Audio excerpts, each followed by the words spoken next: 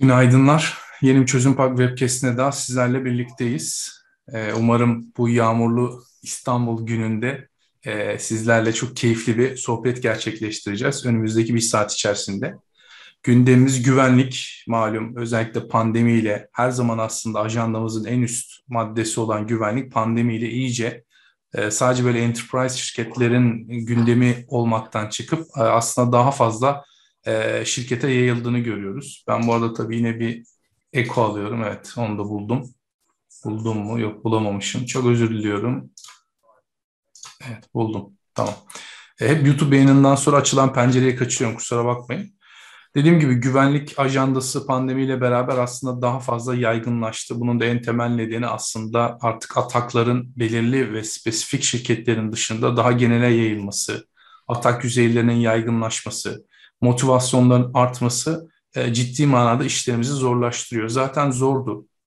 Yani eskiye göre bundan bir 20 yıl önceye bakarsanız uğraştığımız teknolojiler çok da akıl işi değil aslında. Gerçekten çok kompleks teknolojilerle uğraşıyoruz. E, durum böyle olunca e, güvenlik anlamındaki teknolojilere olan ilgi artıyor. İlginin artmasıyla beraber ürün portföyü de artıyor.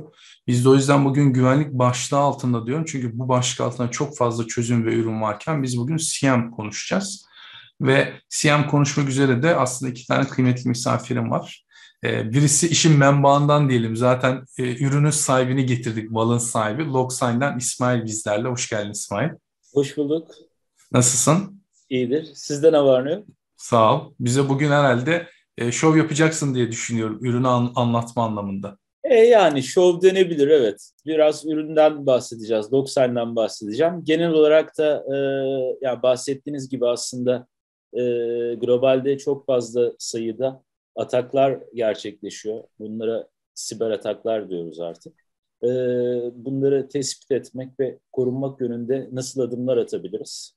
Neler yapabiliriz? E, bunları, bunları konuşuyor olacağız. Evet. Harika. Bir diğer misafirim de iş ortağı noktasında LTS Bilişim'den Nizamettin Bey. Nizamettin Bey siz de hoş geldiniz. Hoş bulduk. Çok teşekkürler Nasılsınız? Hakan Hocam. Çok teşekkürler. Sağ olun. Siz nasılsınız? Sağ olun. Ben de çok iyiyim. Böyle çok keyif alarak dinleyeceğim bir webinar olduğu için ben de tabii mutluyum ikinizin arasında. Ee, öncelikle müsaade ederseniz ben sözü İsmail'e vermek istiyorum. Ee, o biraz anlatsın. Çünkü ben de konuşmaya başlarsam CM, log, auditing diye hani ben de benim de böyle e, ne bileyim çok ilgi duyduğum, e, danışmanlığını yaptığımız ve işin içinde olduğumuz bir konu olduğu için özellikle önce İsmail'e söz verelim ki hocam ondan sonra senle ben gerekirse sohbet ederiz kalan vakit. Ama her şeyden önce o bu mesai gününde bize zaman ayırıp e, katılan katılımcı arkadaşlara, e, müşterilerimize çok teşekkür ediyorum tabii. Tabii ki. İşte Nizamettin Bey bakış açısının farklılığını da ince olarak gösterdi. Ama evet. yani biz konuşursak Hakan Hocam mu- muhtemelen İsmail Bey'in sunumuna zaman kalmayacak. O nedenle önceliği ona verelim. Çünkü tamam. önceliğimiz LogSign, e, CM'i biraz anlatmak. E, çünkü çok önemli ve kritik bir ürün. KVKK regülasyonları gereği. E, topu İsmail Bey'e verelim. Tamam anlaştık. Ben zaman bırakacağım sizin için hiç merak etmeyin. Çok Vallahi abi mekan sahibi benim. Hani istersen bırak istersen bırakma. Burada bir tuş var böyle exit diyor gönderiyor panelisti. tamam anlaşıldı. tamam ben mesajı vermiş olayım sözü de vereyim. E, işin şakası bir yana abi büyük bir keyifle seni dinliyoruz buradayız. Teşekkür ederim. Evet, e, bugün Loksen'den ve Loksen Siyam'dan aslında Loksen Siyam'le beraber e, bu siber e, ataklarla ilgili ne seviyede mücadele ettiğimiz ve bunlar için nasıl ürünler ürettiğimizden ben size bahsetmek istiyorum. E, slaytın da başlığını gördüğünüz gibi amacımız güvenlik duruşunu güçlendirmek. Kurumlarımızın güvenlik duruşlarını güçlendirmek ve bunun üzerine de katkı sağlamak. E, burada Siyam'la başlıyoruz. Önce ben biraz Loksen'den bahsedeyim. Loksen kimdir? DocSign 2010 yılında kurulan bir firma. E, şu anda 65 çalışanımızla hizmet veriyoruz ve e, Hollanda'da aktif, e, Amerika'da bir ofisimiz, İstanbul ve Ankara'da ofislerimiz bulunuyor. Burada e, amacımız bizim karmaşadan uzak bir şekilde siber güvenliği sağlamak. E, basitlik anlamında değil bu, karmaşıklık anlamında bunu ifade, etme, ifade etmek istiyorum. Kolay yönetebileceğimiz, e, tehditleri kolay bir şekilde algılayabileceğimiz ve bunlar üzerinde de aksiyonlarımızı e, alabiliyorsak otomatik bir biçimde alacağımız yapılara sistemlerimizde entegre etmek amacındayız. Burada e, odak noktamız sürekli olarak yenilikçi teknolojileri kullanmamız ve bu yenilikçi teknolojiler ile ürünlerimizi geliştirmemiz. Peki e, hangi ürünlerimiz var? E, bugün CM'den bahsedeceğiz ama aslında bizim e, ürettiğimiz ürünler CM'de entegre çalışan ve e, bir e, atak vektörüyle alakalı, bir siber saldırıyla alakalı bir tespitten sonra da müdahale noktasında da aktif kullanabileceğiniz e, ürünleri üretiyoruz. E, ürünlerimiz SİAM, SOA ve tehdit istihbaratı ve bunlar üzerinde katma değerli hizmetler sağlıyoruz. Bunu bir güvenlik operasyon merkezimizde, bir SOC'mizde 14 kişilik bir ekibimizle yönetiyoruz. Burada bir SOC hizmeti veriyoruz. Ortak yönetim hizmetlerimiz var. Bunlar ürününüzü aldıktan sonra birlikte ürünle ilgili sürekli size destek verecek Technical Account Delege, Technical Account Manager'larla yaptığımız hizmetlerden biri. Satış sonrası desteğimiz ürün almanızla birlikte e, ve kurulumu ile birlikte hemen başlıyor ve e, belirli alırlıklarla da ürünün e, olgunluk seviyesini ölçecek şekilde sizinle birlikte aksiyonlar gerçekleştirebiliyoruz. Peki bu e, siber güvenlik operasyonlarında acaba ne gibi zorluklarla karşılaşıyoruz? Yani bu zorlukları yaşayan biz değiliz. Globalde e, tüm e, bu sektörle e, ilgilenen herkes aslında bu zorlukları yaşıyor. Bu zorluklara biraz göz atalım öncelikli olarak. E, şimdi e, bir bağımsız bir araştırma kurumunun yaptığı araştırmaya göre dakikada bu siber ataklardan ve tehditlerden e, tehditlerle mücadelede e, bize dakikada 11.4 milyon dolar gibi bir maliyeti var bu atakların. Ve yine bu atak maliyetlerinden ziyade bunları savunmak için de bizim 235 bin doların üzerinde yine bir maliyetimiz oluşuyor. Ee, bunlar e, bu tehditler, phishing tehditleri olabilir ve bize verdiği hasar da yine dakikada 5 dolara yakın bir hasar bırakıyor. Ee, internet bağlantısı olan e, bilgisayarlara baktığımız zaman da ortalama da bunların dakikada bir buçuk saldırı yani bir saldırının üzerinde bir saldırı e, aldığını gösteriyor rapor bize. E, tabii şimdi Covid dönemindeyiz. iki seneyi aştı e, ve e, yani artık bu sunumları da bu şekilde gerçekleştiriyoruz. Online gerçekleştiriyoruz ve internete bağlıyız. Bu da aslında siber atakların ve siber tehditlerin daha da artmasına sebep oldu. Ee, bu atakların artması sadece atak olarak anlamına gelmesin. Ee, bu atakların karşılığında kurumlar verilerini de kaybetmeye başladılar sızıntılar sayesinde. Ve e, bu araştırmada şöyle bir şey var. E, 16.172 tane kayıtın ele geçirildiğini söylüyor bize. Çok yüksek sayılar bunlar. E, peki bunlardan nasıl korunacağız? Neler yapacağız aslında? E, Birçok e, kurum e, bu tehditlerden korunmak için e, altyapılarında altyapılarına yatırım yapıyor. Güvenlik cihazlarıyla bunları destekliyor.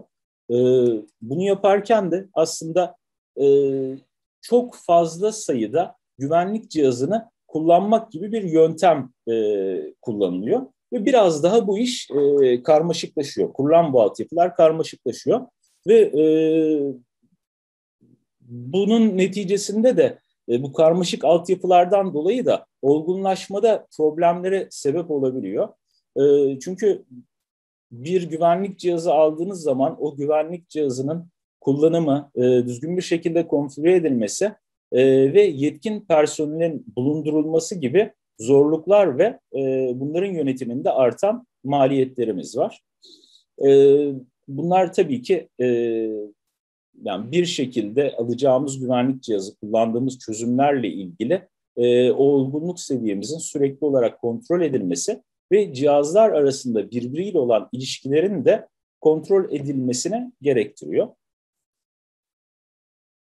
Peki e, bu cihazların yönetilmesi zor dedik. E, aynı zamanda sadece yönetim değil, e, tekrarlayan süreçlerle de biz karşı karşıya geliyoruz. E, saldırılar iyi bir şekilde durdurulamıyor ve çok sayıda alarm alabiliyoruz bu cihazlar üzerinden. Aldığımız alarmların çözümü için analistlerimiz e, birçok cihaz üzerinden manuel veri toplamak zorunda kalabiliyorlar. E, bunları ilişkilendirmekte zorluk yaşayabiliyorlar. Aksiyon alması gereken durumları e, tespit etmekte ve müdahale etmekte gecikmeler yaşanabiliyor. E, bunları e, karşılamak için e, artık burada bir SIAM kullanımı yani bu cihazlardan aldığımız bu cihazların ürettiği loglarla ilgili e, bizi son noktada bir aksiyona götürecek alarmların oluşturulması ve olgunluk seviyemizin de sürekli takip edilebilecek bir e, yazılıma ihtiyaç doğuyor aslında. E, bu zorlukların biraz daha e, yani CM'e geçmeden önce üzerinde durmak istiyorum. E, çok fazla alarm oluşuyor dedik. E, tekrarlanan çok fazla manuel süreçler var ve bunları çözmekte zorlanıyoruz ve zaman alıyor. E, bu cihazlardan üretilen uyarılar e, çok fazla sayıda olduğu için analistler bunun üzerinden gelemeyebiliyorlar. E, olay önceliklendirmelerini yapmak zor olabiliyor. Analistlerin yetkinlikleri açısından onları geliştirmekte zorlanabiliyoruz ve cihazların gerçekten ve operasyonların yönetimini zorlaştırıyoruz. E, artı e, farklı organizasyonlar arasındaki e, iletişimi de e, teşvik edilemiyor bu sayede. E, şimdi biraz daha Loksan CM'e geçelim. Loksan CM burada e, ne yapıyor ve nasıl farklılaşıyor ya dönelim. E, çok sayıda cihazdan bahsettik, güvenlik cihazından bahsettik. E, öncelikli olarak bu güvenlik cihazlarının oluşturduğu logları anlamlı bir halde bizim e, sunmamız gerekiyor. Bunun için de e, cihazı entegre ettiğimiz zaman, LogSense'ye entegre ettiğimizde o cihazdaki logların e, anlamlı bir şekilde gelmesini bekliyoruz. E, bunun için LogSense'nin üzerinde 400'den fazla ön tanımlı e, entegrasyonumuz var. Burada herhangi bir şekilde e, üreticiye bağımlı değiliz. E, üretici bağımsız bir şekilde gerçekleştiriyoruz. Bunu gerçekleştiren ekiplerimiz güvenlik cihazlarının veya log toplayacağımız bu üreticilere ait cihazlar üzerindeki logları öncesinde inceleyerek her logla ilgili mapping çalışmalarını ve normalizasyon çalışmalarını tamamlamış oluyorlar. Ee, ve hızlı bir şekilde de e, bunların entegre etmemiz e, bu sayede kolaylaşıyor. E, Logsign üzerine bu cihazlar eklendikten sonra cihazlardan oluşan loglarla ilgili bizim hızlı bir şekilde arama yapabilmemiz gerekmekte. Bu aramayı yapabilecek şekilde bir e, Lucen diliyle query'leri yapabileceğimiz, sorgulamaları yapabileceğimiz bir e, arama search e, ekranıyla search modülünü kullanabiliyorsunuz. Burada hızlı bir şekilde topladığınız kaynaklardan, e, log topladığınız kaynakların tüm logları ile ilgili aramalarınızı gerçekleştirebiliyorsunuz veya bunları isterseniz dashboardlarda görselleştirebiliyorsunuz. Ya da farklı kaynaklardan, farklı log kaynaklardan üretilen alarmları gözlemek için farklı gruplara, farklı birimlere bunları delege etmeniz mümkün olabiliyor. Ee, burayı şöyle özetleyeyim. Ee, sistem tarafının e, ilgilenmesi gereken veya bir güvenlik ekibinin ilgilenmesi gereken farklı tipteki kaynaklara ait logları sadece o ekiplerin görebileceği şekilde e, delege etmeniz mümkün olabiliyor. Peki e, bu işi bu CM üzerinde biz nasıl yapıyoruz? Yani altyapımız nasıl bu e, veri toplama ile ilgili? E, şu şekilde ilerliyor. Veriler e, yani topladığımız log üreten kaynaklardan aldığımız verileri biz e, log sign'ı toplamaya başlıyoruz ve bunları kendi gerçek zamanlı olarak zenginleştirerek ve içeride kullandığımız konnektörlerle daha hızlı bir şekilde soruşturulmasını ve tespit edilmesini sağlıyoruz. E, burada e, iş aslında orada çalıştığımız bir korelasyon motoru var. Bu sayede e, birbirleriyle ilişkili ve daha önceden tanımlı olan bu alarm kuralları sayesinde e, herhangi bir zafiyet tespit edildiğinde bu tespiti yaptıktan sonra hızlı bir şekilde müdahale edilmesine sağlıyoruz. Tabii ki topladığımız, log topladığımız kaynakların ürettiği verilere göre de bu veri havuzumuz bizim e, genişleyebiliyor. Ya da e, çok fazla kaynaktan log toplamak için yetersiz kalabiliyor sistemlerimiz. E, bu durumda da biz hem yatayda hem de dikeyde büyüyecek şekilde e, ölçeklenmeyi e, sağlayabiliyoruz. E, bu bizi hem yedeklilik anlamında hem de daha hızlı bir şekilde logu toplayıp üzerinde hızlı araştırma ve soruşturma ve tespit yapmak anlamında e, artı e, imkanlar sağlıyor. E, Burada ben bir şey sorabilir miyim? Tabii ki.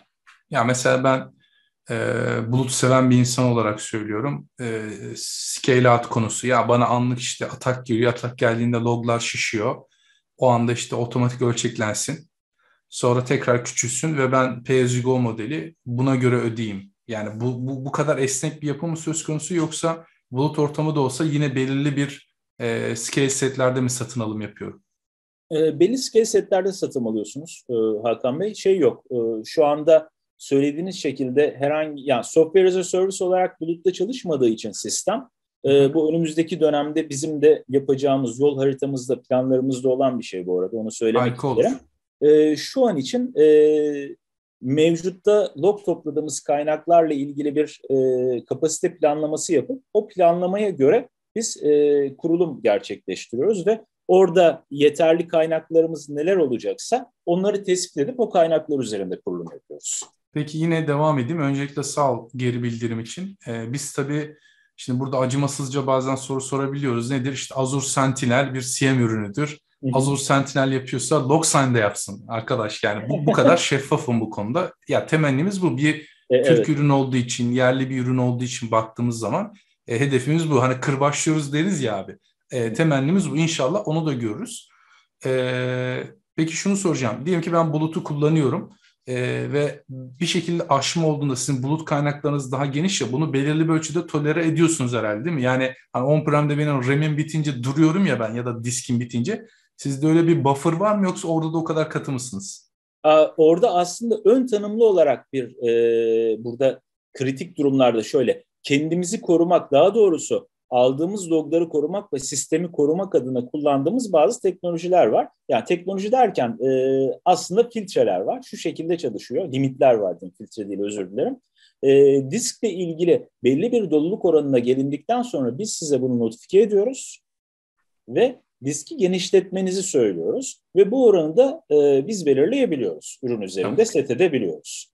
Anladım, ee, bu sayede e, yani yüzde yüze gelen bir e, disk kullanımı veya yüzde doksanın üzerine çıkan bir disk kullanımını siz zaten öncesinde hatta biz 70'ler seviyesinde alarmlarını oluşturmaya başlıyoruz bunun ki 90'lar seviyesinin üzerine çıktığınızda artık kesinlikle bir müdahale gerekiyor. Bir disk alanına ihtiyaç oluyor. Zaten genelde toparlanmıyor. Benim çok üzüldüğüm e, kesinti nedenlerin başında disk doluluğu geliyor. Koca koca sistemler. Çok ciddi söylüyorum bakın. Koca koca sistemlerde. Çok yaşadık biz de bunları. Yani, evet, evet yani bu CM özel değil. Yani Exchange olabilir. işte başka bir şey olabilir. SQL olabilir.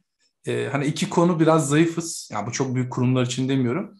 Birisi monitoring. Hani monitoringimiz olsa basit. İşte servis durmuş haberimiz yok. İşte dün geceden beri mailler gelmiyor. Disk dolmuş, servis durmuş işte bilmem ne olmuyor. O yüzden dedim ama zaten kendi içinizde böyle bir mekanizma varsa sorun yok. Ben de işi size yıkmaya çalışıyorum. Hani ben on-prem'de bununla uğraşmak istemedim. Size yıkarsam ne kadarı sizin sahada kalıyor? Ne kadarı benim sahada kalıyor onu öğrenmeye çalıştım. Teşekkürler. Allah şimdi ben de bir araya girmek isterim. Buyur şimdi hocam. İsmail orayı kısa geçti ama şimdi aslında CM ürünleri hocam e, e piyasada başarılı CM ürünleri var. Yalnız en önemli konu şu.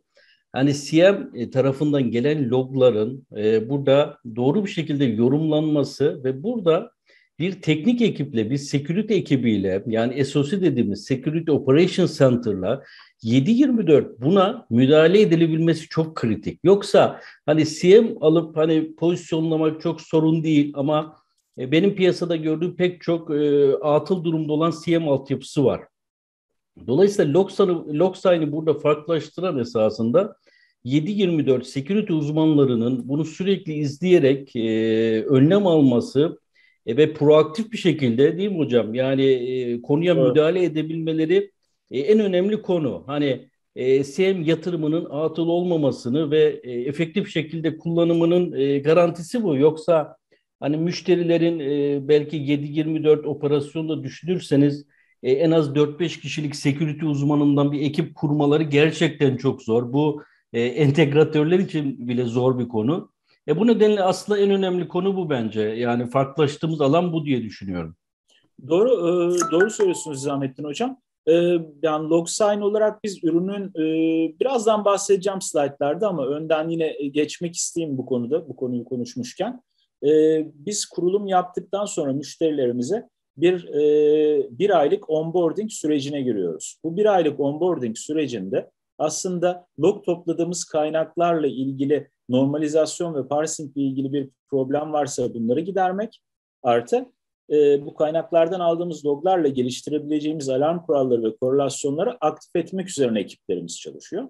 Bizim katma değerli servis olarak verdiğimiz birlikte yönetilelim dediğimiz, co-manage dediğimiz bir hizmetle beraber bunu müşteriye sunmuşsak eğer bu sürekli bir hale geliyor ve biz artık e, ürünü verdiğimiz kurumun güvenlik ekipleriyle birlikte sanki o ekibin bir parçasıymış gibi artık birlikte çalışmaya başlıyoruz.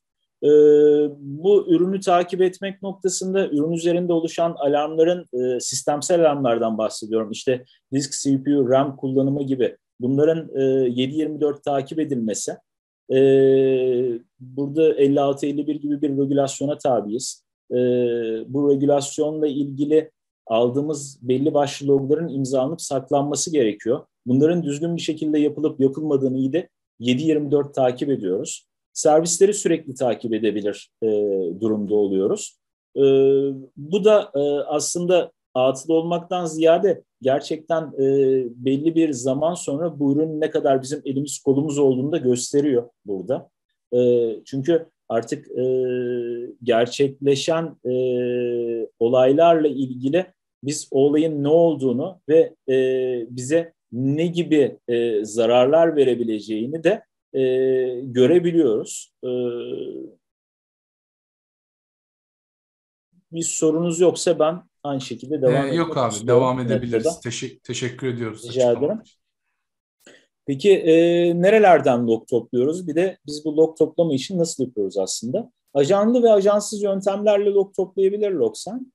E, bunları systok olarak alabildiğimiz bir database üzerinden SFTP ile FTP ile veya bir dosya paylaşımı üzerinden bu logları okuyup e, bu logları toplayabiliyoruz. E, her kaynaktan gelen e, kaynak tarafında filtrelemeyen ve bizim gerçekten kullanmayacağımız bir korelasyon ihtiyacımız olmadığı durumlarda ise e, burada Logsign çok önemli bir özelliği var. Data Policy Manager dediğimiz. Bu Data Policy Manager'lar ile kaynak üzerinde e, sadece istediğimiz logların filtrelenmesini sağlayabiliriz. Ya aldığımız logun e, imzalanmasını istemiyorsak o prosese dahil etmek durumunda değiliz. E, bunu data policy ile e, exclude edebiliriz.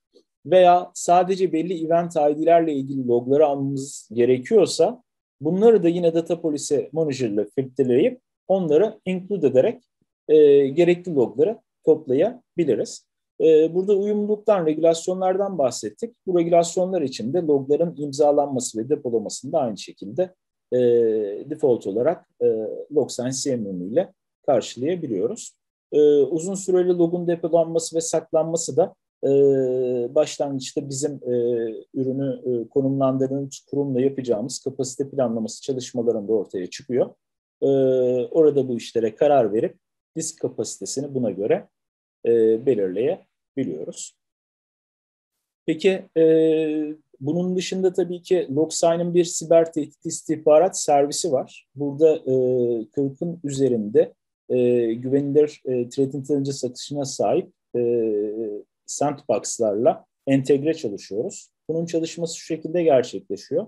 Kurum içinden erişilen IP'ler, hostlar veya hash'lerle ilgili e, bu siber tehdit istihbarat üzerinde bir sorgulama yapılıyor otomatik olarak ve bundan gelen e, dataya göre, dönüşe göre e, riskli olup olmadığına karar verip bunun üzerinde e, otomatik olarak aksiyon alıp e, kuruma girişini veya kurumdan dışarıya doğru e, erişime engelleme şansına sahip oluyoruz.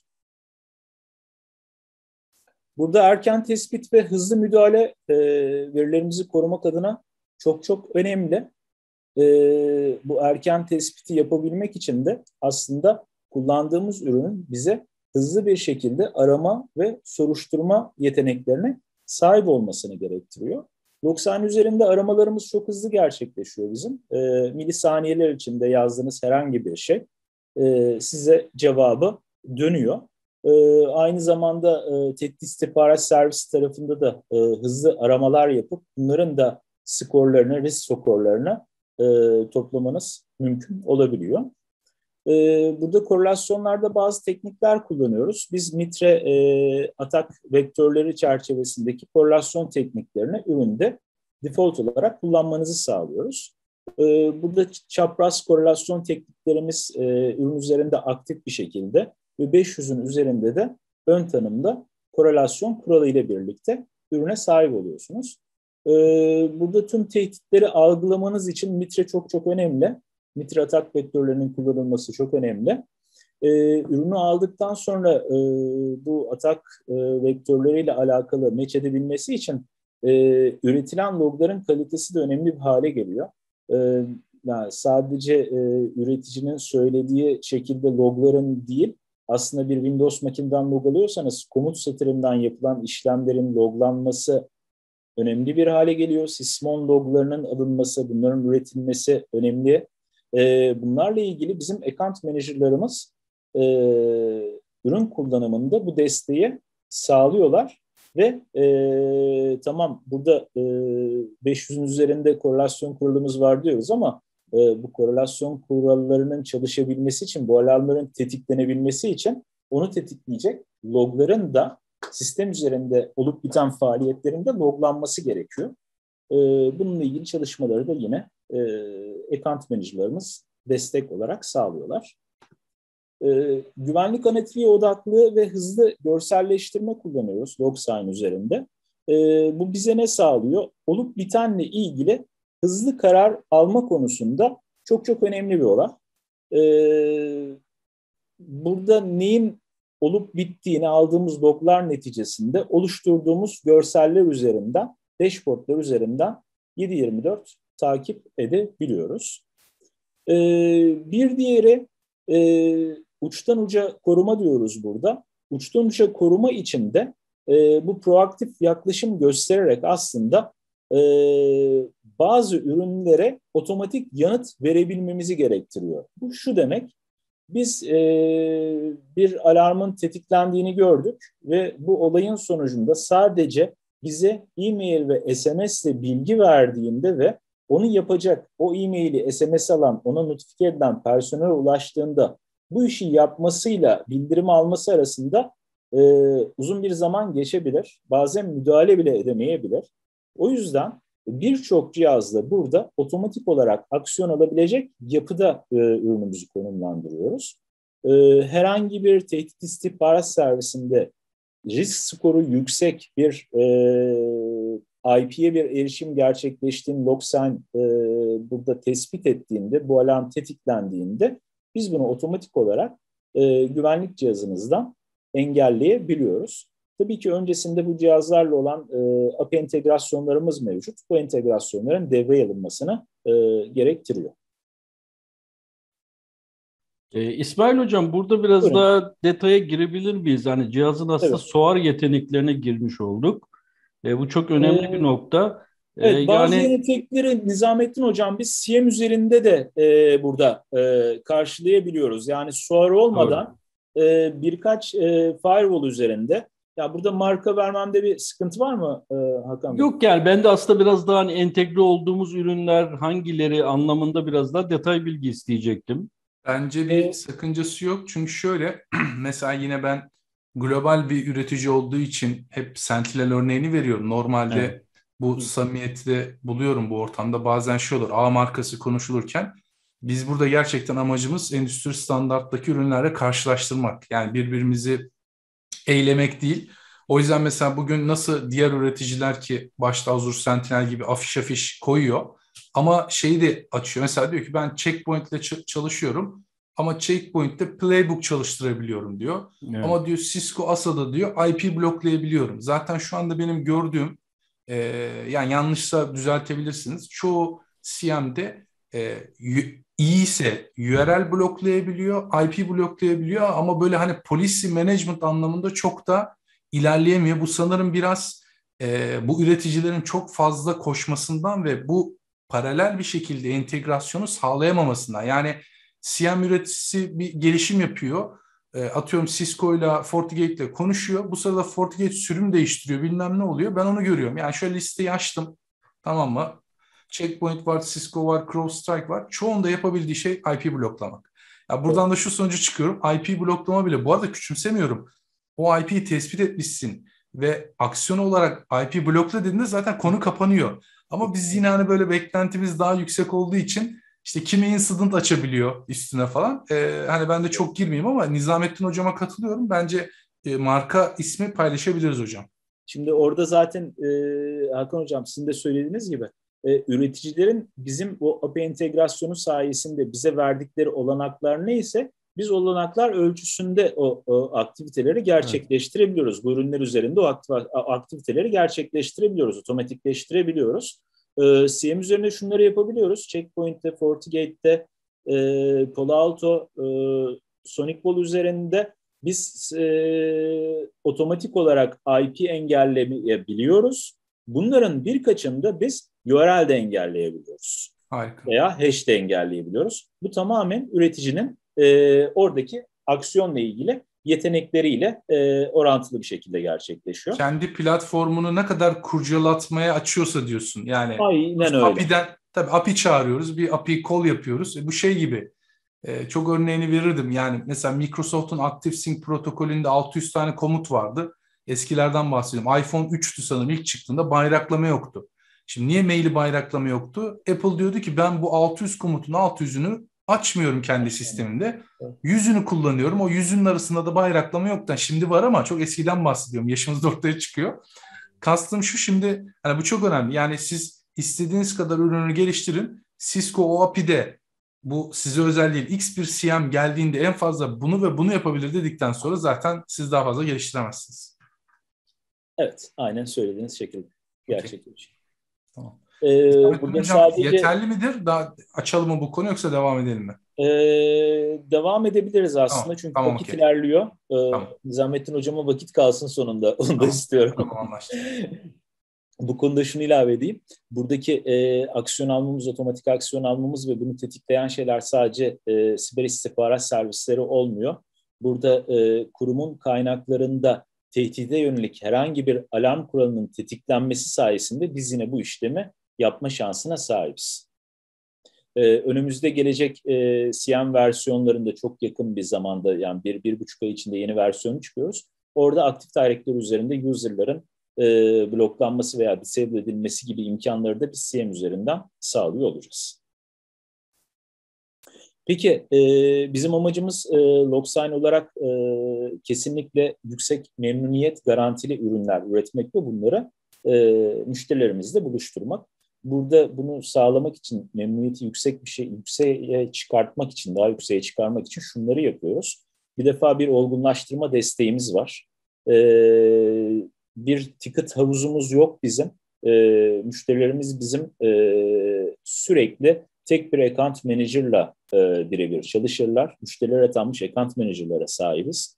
E, kapasite planlamasını e, doğru bir şekilde yaparız. E, hem yerinde hem de online olarak da yani şu iki senedir genelde online'a doğru gitti ama yerinde desteği de e, gerektiği durumlarda e, sağlamaya devam ediyoruz. E, en önemli özelliklerden bir tanesi de e, daha öncesinde e, tanımlı olmayan, entegrasyon olmayan bir log kaynağı sisteme eklendiğinde bununla ilgili plugin desteğini ücretsiz olarak sağlayabiliyoruz. E, hatta bir müşterimize şunu söyleyeyim bu, bu arada. Arvento'dan bile bir araç takip sisteminden bile e, loglar alıp anlandırmak zorunda e, kalmıştık. Bu isteği bile yerine getirmiştik.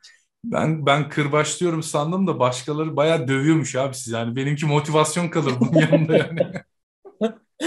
Kolaylıklar. E, ama yapmak durumundayız çünkü e, bunu delege ediyoruz. E, ya burada sürede e, bizim iki hafta içinde e, o log üretildikten sonra iki hafta sonrasında maksimum e, artık normalizasyonunu tamamlamak gibi bir, bir hedefimiz de var. E, peki burada e, topu Nizamettin Bey'e atacağım yavaş yavaş ben. E, Logsign'ın e, fiyatlama seçenekleri nedir? E, burada istediğiniz planı seçebiliyorsunuz. Aylık veya yıllık kiralama veya satın almayla sahip olabiliyorsunuz. Doğru kapasite planlama için destek alabiliyorsunuz. Veya bir ürün aldınız, e, onu değiştirmek istiyorsunuz, e, planı değiştirmek istiyorsunuz. Bu konuda da plan değiştirme ile ilgili imkanları da size sunuyoruz. E, bundan sonrasında e, aslında önemli birkaç tane slide göstereceğim. Bu slaytlarda şunu göreceksiniz. Bizim e, bundan sonraki yeni versiyonumuzda neler yaptık, e, neleri ön plana, daha fazla ön plana çıkardık. Bunlar üzerinde çok kısaca e, duracağım. E, e, ana yapımız değişiyor LogSign'ın ve e, eklediğimiz asetlerle ilgili biz e, skorları sizinle paylaşmaya e, başlıyoruz. E, bir aset yönetimi e, ne sahip oluyorsunuz. E, bu mitre atak vektörlerinden bahsetmiştim. Bunlarla ilgili e, olayın içeride hangi objelerle ilgili olduğunu veya hangi objeler tarafından tetiklendiğini aşama aşama takip edip bunların e, log aldığınız kaynaklarda e, ilişkileri varsa bu ilişki durumlarını da e, görebilir hale geliyorsunuz. Ve ayrı ayrı bunların da skorlarını görebileceksiniz. E, artı e, bununla ilgili e, bir e, alarm e, tetiklendiğinde, detect edildiğinde bununla ilgili açıklamaları da yine e, arayüz üzerinden paylaşıyor hale geleceğiz ve risk skorları da yine söylediğim gibi görülebilecek. Ve aşamalarını burada göreceksiniz. E, hangi source'tan kaynaklandığını, e, trafiğin e, hangi destination olduğunu, e, farklı source'larla olan ilişkilerini, bir e, bir açıklık e, dosya sistemine erişmekle ilgili bir sızıntı ile ilgili bir açıklık varsa hangi dosyalara eriştiği gibi her şeyi tek bir ekran üzerinden takip edebilir seviyeye geliyorsunuz. E, arama tarafında e, zaten hızlı bir aramaya sahibiz. Burada e, şu anda mevcut ürünümüzde de var. Burada biraz daha ön plana çıkıyor bu.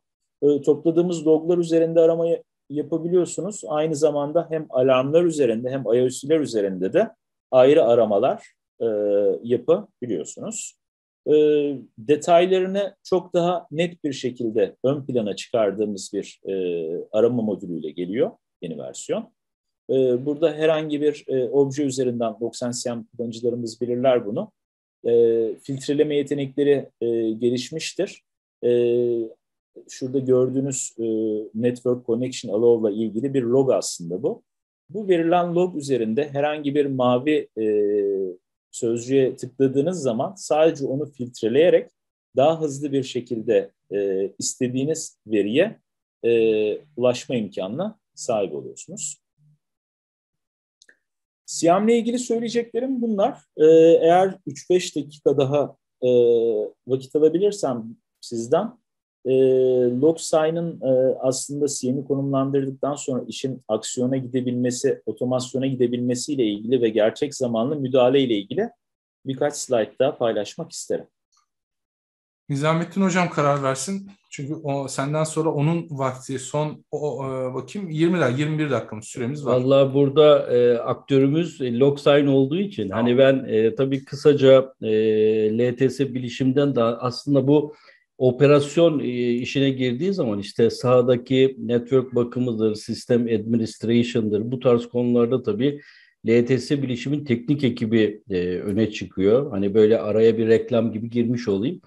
E, LTS bilişim olarak hani klasik bir entegratör e, tabiri vardır. Hani marka bağımsız her üründe, her çözümde işte biz projelendiririz, teknik ekibimiz var, kurulum yaparız vesaire.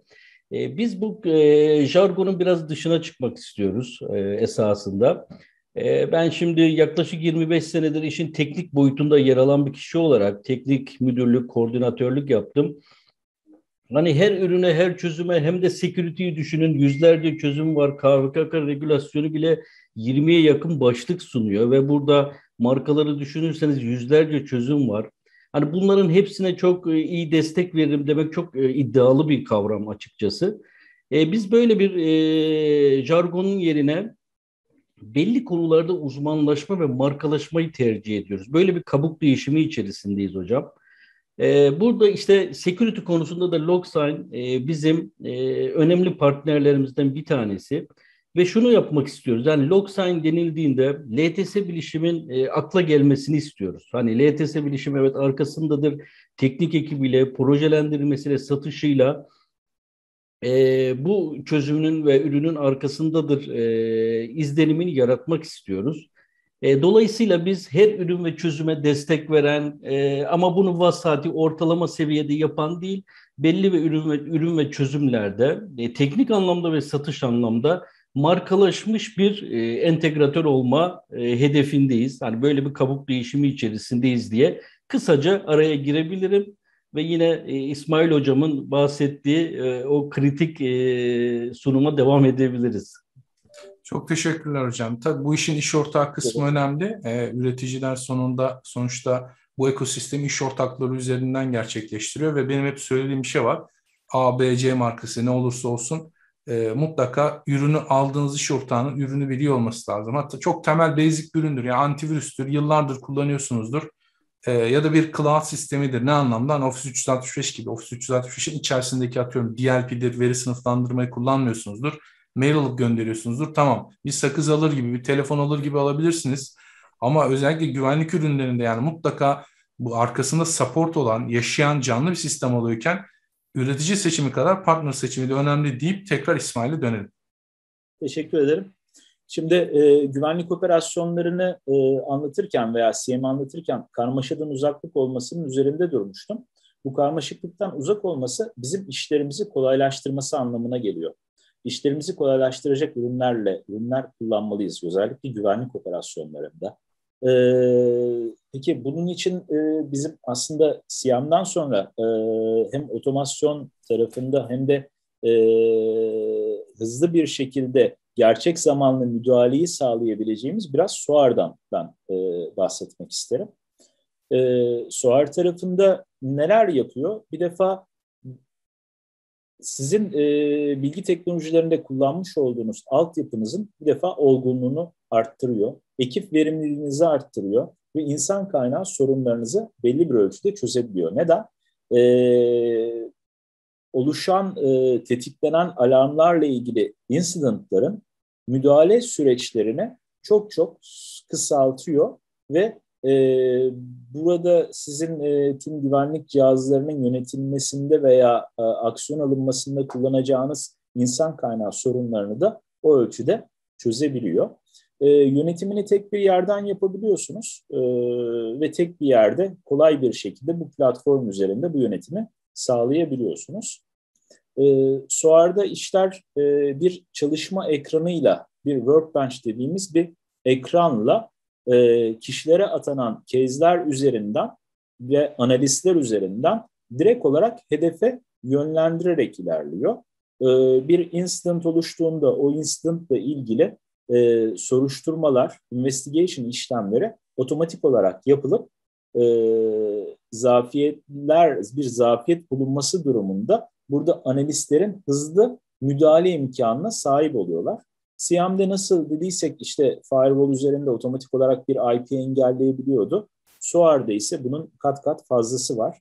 Ee, API desteği olan herhangi bir üreticinin güvenlik cihazı ile biz entegrasyonumuzu burada e, sağlayıp e, analistin önüne düşen bir case'de e, bir zafiyetin eğer o cihaz üzerinde alınması gereken bir işlem varsa tek bir tuşla o işlemin yapılmasına SOAR üzerinden hızlı bir şekilde sağlayabiliyoruz. E, burada iş akışları ve olaya müdahalelerde e, biz bir bot teknolojisi kullanıyoruz. E, bu bot teknolojileri aslında analiz gibi, insan gibi çalışan e, kararı kendilerinin verebildiği, verebildiği e, humanoid dediğimiz, insansı dediğimiz, insansı özelliklere sahip objeler. E, burada analiz botlarımız var, önleyici botlarımız var, iyileştirme botlarımız var. Analiz botlarımızda e, bizim analizi yaptığımız yani bir investigation işlemi bir analiz işlemidir. Bu işlemi gerçekleştiren botlar devreye giriyor. Önleyici botlarda playbooklardaki IOC'leri engelleyip buradaki riskleri azaltabiliyoruz. İyileştirme botlarında ise burada playbookları e, kullanmak için gösterge engellerini kaldıran e, botlar anlamına geliyor. Bu botlar bir arada ve e, eş zamanlı bir şekilde, paralel bir şekilde playbookları çalıştırıyorlar. E, playbook dediğimiz şey de e, yine SOAR üzerinde normalde bir iş akışı gibi bir olay olduğunda o olayla ilgili e, devreye alınacak aksiyonları gerçekleştirdiğimiz bir akış aslında. O akışa göre o olayın başlangıcından e, sonlanana kadar, alınan aksiyonuna kadar süreci e, takip ettiğimiz bir alan. E, burada bir e, phishing ile ilgili bir e, use case senaryosu var. Bu use case senaryosuna göre yani bir e-mail geldikten sonra bunun phishing olarak e, tespit edilmesi ve bu tespitten sonra e, bu playbook sayesinde iş akışının nasıl olduğunu e, gösteriyoruz. E, detayları bizim e, yine support sitemizde mevcut bununla ilgili. E, burada bir otomasyonla birlikte e, aslında bir soru gibi de olacak İsmail Hocam ama e, firewall üzerindeki hani SOAR anlamında e, girebildiği policy'leri API entegrasyonundan falan bahsettik ama biraz da endpoint tarafına gidersek NAC'tır, DLP'dir. E, o taraflarda ne e, API'ler eğer sağlanırsa entegrasyona ne tür e, organizasyonlar yapılabiliyor, ne tür opsiyonlar var? O konuda biraz daha detaya girebilir miyiz? Tabii. Ya orada da yine üreticinin bize verdiği şeylerle kısıtlıyız tabii Nizamettin Hocam. Ama e, yani bir e, nakde düşündüğünüz zaman trafiğin engellenmesini orada gerçekleştirebiliyoruz bir IP için veya bir e, MAC adresiyle alakalı eşleştirildiği için e, onun o e, trafiği kullanmasını, internet trafiğini kullanmasını engelleyebiliyoruz. Yani A'dan devre dışı bırakabiliyoruz veya e, Active Directory üzerinde kullanıcı disable edebiliyoruz. E, yine bu DRP'den aldığımız şeylerle. Hı hı. E, makinesine girebilmesini kısıtlayabiliyoruz. E, bunları hemen hemen tüm üreticiler, tüm DLP ürünlerinde veya endpointlerde, NAT'larda yapmamızı sağlıyorlar. Bu API entegrasyonuyla bu imkanı bize sağlıyorlar. E, bunların e, daha fazlası e, Hakan Hocam'ın söylediği belki firewall'lar üzerinde bir policy e, kuralı yazmak, engellemek olabiliyor ama e, bu maalesef her üretici için geçerli değil. Bunları her üreticinin e, API entegrasyonunda yapmamız mümkün oldu. E, burada e, vaka yönetimi müdahaleye geldiğimiz zaman burada da biz e, karmaşıklığı istemiyoruz. Karmaşık olmasını istemiyoruz. Biraz daha kolaylaştırıyoruz işleri. E, herhangi bir vaka ile ilgili öncelikli olarak soruşturmayı yapıp bu vakanın atanmasını, gruplanmasını ve tek, tıkla yanıtlama gibi özellikleri de yine e, bu platformda sağlıyoruz. Artı e, bir vakanın belki tek bir kişi tarafından çözülmesi mümkün olmayabilir. E, o zaman o vaka ile ilgili katkısını sağlayacak e, o sistemi kullanabilen arkadaşları da o vaka ile ilgili e, o case içine davet ederek case'deki çözüm süreçlerini hızlı bir şekilde sonuçlandırma yönelik adımları da yine ürün üzerinden e, hızlı bir şekilde atabiliyoruz. E, çok teşekkür ediyorum. Ee, Sorular varsa cevaplamaktan var. mutluluk Şimdi hemen, hemen chatle başlayalım. Ee, Kayan Bey'in sorusu. Günaydınlar. Ee, yayın kaydı paylaşılacak mı? O beni ilgilendiriyor. YouTube'da yayınımız var zaten. YouTube'dan devamını, tekrarını izleyebilirsiniz. Bizim tüm yayınlarımız public'tir. Buna rağmen e, Zoom tarafında yoğun bir katılım oluyor. Çünkü intera- interaktif bir session oluyor. E, daha çok soruları buradan alıyoruz biz. Hani e, YouTube'u takip edemiyoruz ama kısa özet cevap evet. İstediğiniz anda Çözüm Park'ın YouTube kanalından bu kaydı tekrar ve tekrar izleyebilirsiniz. E, Samet Bey'in sorusu. Selamlar ufak bir soru. Threat Intelligence platform ürünlerinin sürekli geliştirildiklerini görüyoruz. Bu ürünlerden daha fazla faydalanmak adına Logsign CM ürününde hangi yetenekler var, gelecek planlar nedir e, diye sorulmuş.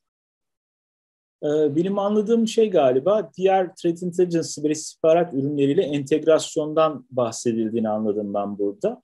E, bu entegrasyonları e, yine ürünlerin API yetenekleriyle biz e, kullanabilir seviyedeyiz. Bunu CM'de kendi Threat Intelligence servisimizle yapıyoruz ama SOAR'da kurumun satın almış olduğu bir ürün varsa, bir istihbarat istihbarat ürünü varsa zaten o entegrasyonu sağlıyoruz. Çok güzel. Size de geliyor soru. Ee, Baver Bey'in sorusu. LogSign tehdit istihbaratını nereden çıkıyor? Yani onların kaynağı kim? Onlar kendi database'lerini nereden güncelliyor? Bir tehdidi nasıl import ediyorlar? Ee, 40'ın üzerinde bir sandbox var bizim kullanmış olduğumuz. E, bunu e, bizim account manager'larımız sonrasında isterlerse paylaşabilirler tabii. Tamam. Onlar global anlamında. Global sandbox. Tamam. Global tamam. Sandbox. Zaten e, güvenlik dediğinde sensör, data, logsuz olmaz. Yani büyük üreticilerin en çok övündüğü şey işte bende milyarlarca sensör var. Hatta bunu bir server storage üreticisi de böyle anlatıyor. Çünkü bu doğru. Diyor ki bende milyarlarca sensörden alınmış data olduğu için ben bunu çok iyi yapay zeka ile beraber algoritmalarla işte korelasyon yapıp sonuca gidiyorum. Senin CPU'un yetmeyecek, RAM'in yetmeyecek vesaire vesaire diyor. Troubleshooting anlamında çok e, faydalı oluyor gerçekten Tabii. hocam. Bu tarz izleme yazılımları e, belli müşterilerde yaşanan sorunları proaktif olarak önünüze çıkartabiliyor. E, dediğimiz gibi ama security'de tabii bu çok çok daha önemli. Tabii, tabii. Ya işte onu demek istedim. Donanımcılar bile artık bu işe başladı Doğru, ki inanılmaz aynen. sonuçlar alıyorlar. Ama bu işin özü antivirüsle başladı zaten hocam. Yani e, sezgisel analiz okey. Sen ve e, ortamınla alakalı. Ama signature based diyoruz. O signature nasıl oluşuyor? Bir yerde buluyor. Signature'ını çıkarıyor. Database'e alıyor gibi diyelim. Ve o paylaşılınca globalde bu. E, evet. O entegratör, entegratörler arasında. Yani IP engelleme evet kolay bir şey gibi söylüyoruz. Düşünüyoruz evet e, kolay bir şey ama e, kritik bir şey aslında. Çünkü e, False pozitifler işte çok tehlikeli o hocam. Zafiyetten koruyor aslında. Korumak adına yapılması gereken en önemli şey. Bunu yapabilmek gerekiyor. Doğru. Evet. Ee, Murat Bey'in sorusu log toplanan her ortamdan gelen bilgi kolerasyonda kullanılmıyorsa eğer ürün bunun analizini yapabiliyor mu? Yani şuradan da log geliyor ama bana, ama ben bunu hiç kullanmıyorum gibi bir analizde belki de oradan gelecek logu artık çekmeme kararı alacağız. Evet, e, Murat Bey'in söylediği şeyi yapabiliyoruz. Data Policy Manager olarak belki kısa geçtim, e, orada kalmış olabilir. Bunu Data Policy Manager ile yapabiliyoruz. Peki nasıl farkına varıyoruz? E, Logsign üzerinde raporlarımız var, rapor template'lerimiz var. Aslında o rapor template'leri üzerinde kaynaklardan gelen logların filtrelenip gerçekten herhangi bir korelasyonda kullanılmıyorsa o kaynakla ilgili bir Data Policy Manager, Data Policy yazarak o filtrelemeyi gerçekleştirebiliriz. Harika. Ali Bey'in sorusu. Merhabalar. Logsign kullanan bir firmayız. Logsign olarak özellikle on-prem exchange sunucu audit konusu gelişim yapılacak mı? Ee, ben önce söze gireyim. Ben audit konusunda biraz yani e, hatta bir ürünün distisiyim öyle düşünün yani. İsmi lazım değil.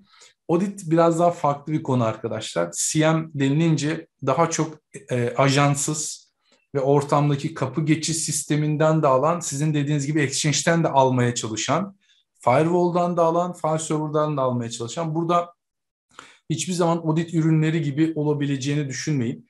Bu yüzden zaten şu soru çok geliyor. Ya ben banka organizasyonunda da çalıştım. Bizde CM de vardı, audit ürünü de vardı.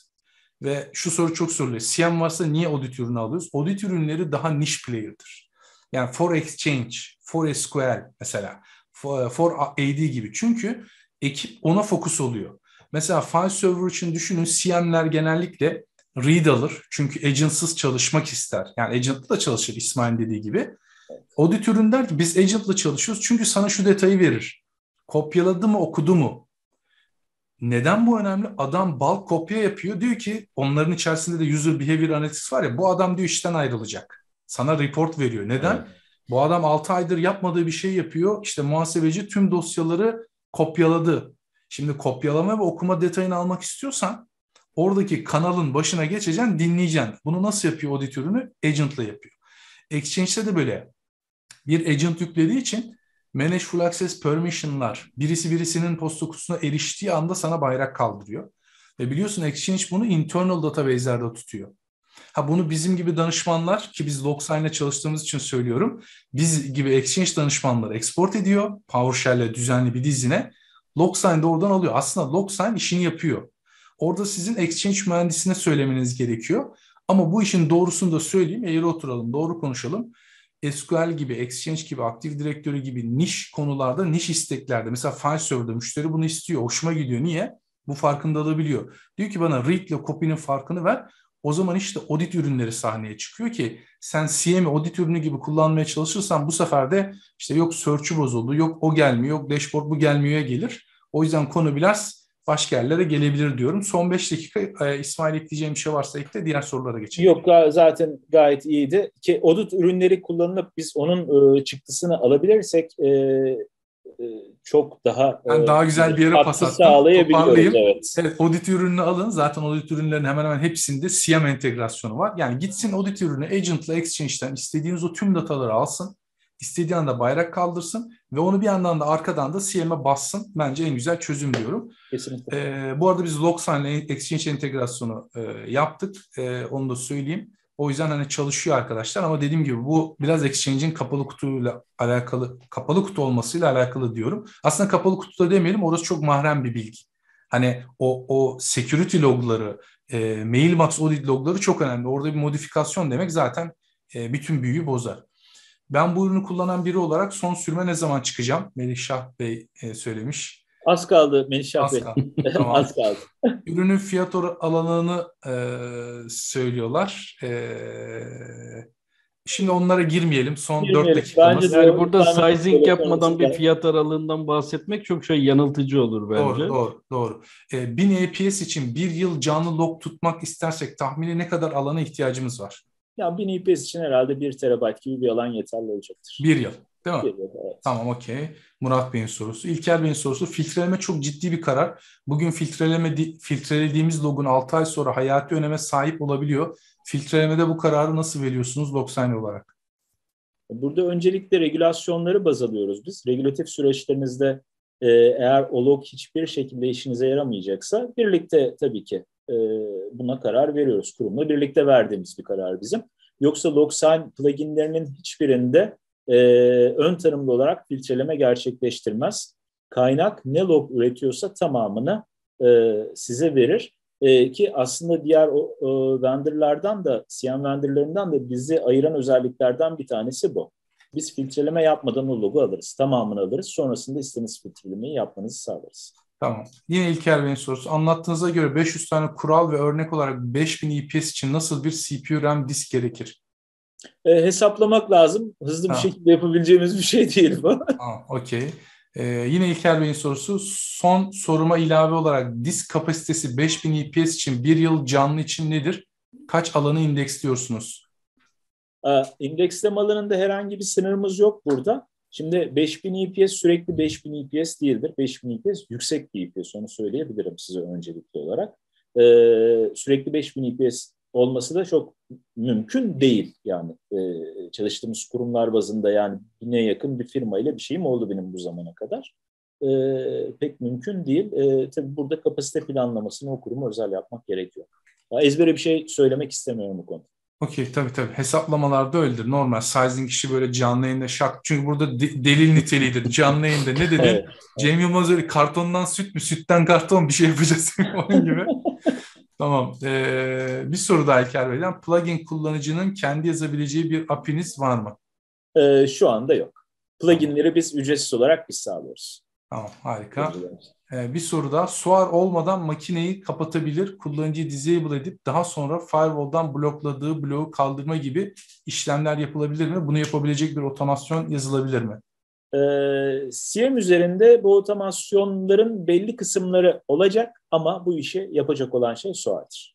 Tamam. SOAR'daki playbooklar ve botlarla bir süreçte bunun yapılması, bir araştırmadan sonra bunun yapılması e, ve bu da otomasyonda SOAR gerçekleştiği için SOAR'da yapılıyor şu anda. Bence ama zaten... Biz SOAR'ın e, bazı şeylerini CM'e de ekliyoruz. Eklemiş durumdayız onu söylüyorum. Ben de bir danışman gözüyle söyleyeyim. O ince çizgiyi aradan kaldırdığınız anda iş karışır. Yani CM ve SOAR farklı ürünler.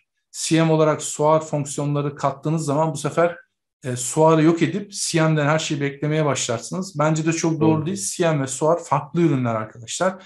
Suar özellikleri olan CM ürünleri çok daha böyle ön planda ama bence onları böyle e, hani suar özelliklerini CM'in üzerine alalım bana çok mantıklı gelmiyor deyip. Zaten hocam her şeyi yapmaya başladığınızda bu kez e, başarı düşüyor yani. Evet, her şeyi bahsettiğim gibi karmaşık bir hale. Her ürün kendi konusunda daha başarılı aynen, olmalı aynen, bence. Aynen. Uzmanlaşmalı. Ben de müşteri oldum. Müşteri ister abi ama hani iç müşteri de öyledir. Ya bu eleştiri yaparken IT çalışanı olarak da forumlarda da diyorum bir soru soruyorlar. Ya çok net söylüyorum saçma sapan bir şey abi. Diyorum ki Niye böyle bir şey istiyorsun? Kullanıcı istiyor. Ya abi bir deli taş atmış kuyuya kullanıcının her istediğiyle gidilmez. Diyeceksin ki endüstri standartı ne? Soracaksın. Diyeceksin ki böyle bir işe ihtiyacı var. Siz nasıl çözüyorsunuz? 100 tane firma, 10 tane firma bir ölçekleme 10'un 8'i böyle çözüyorsa doğrusu budur. O ikinin peşinde gidip vakit kaybetmeyeceksin diyorum. Son soru. Merhaba logları maskeleyebiliyor muyuz? Erhan Bey'in sorusu. Ee, evet yapabileceğiz. Tamam. Yapabileceğiz derken yeni sürümde mi? Yeni sürümde evet. Tamam okey harika. Çok teşekkürler. Herkese çok teşekkür ediyorum. Vaktimizi doldurduk o yüzden böyle biraz sıkış tıkış soruları cevapladık ama bütün soruları da cevapladık. Ee, Ali Bey reklam olmaması için ürünün ismini söylemiyorum. Ee, Cem Bey merhaba Threat Intelligence Analysis kısmında yeni tehdit ve geliştirmeleri e, geliştirmeler gelecek mi denmiş. Onu da cevaplayalım. Gelecek. Tamam okey. Çok net oldu evet, gelecek. Bu arada ben e, Hakan Bey şey zaman kısaldığı için öyle söyledim. E, dinleyicilerimizden bundan sonraki süreçte herhangi bir sorusu olursa sizin üzerinizden de gelebilirler burada. E, artı e, support.logsign.net'i kullanabilirler aktif olarak e, buraya yazacakları her şeyi arkadaşlarımız e, cevap vereceklerdir. Harika.